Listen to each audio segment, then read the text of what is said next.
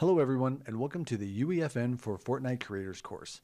I'm your host, Ian Southwell, also known as Gatlin Shadow, Creative Director here at Cleverlike Studios. This course is designed for Fortnite creators that have never worked inside of Unreal Engine or are just curious about how to work with UEFN to begin with. Here at Cleverlike Studios, we have been teaching Fortnite Creative as well as Unreal Engine for the past few years, so we're very aware of what each side needs to know to work inside of UEFN. We have also used UEFN to develop our own game. And because of that experience, we're going to jumpstart your creative career. So join us on this experience where we start at the very beginning. We're going to go ahead and get you up and running by installing UEFN. We're going to go ahead and get UEFN running so that you can actually connect it to Fortnite Creative.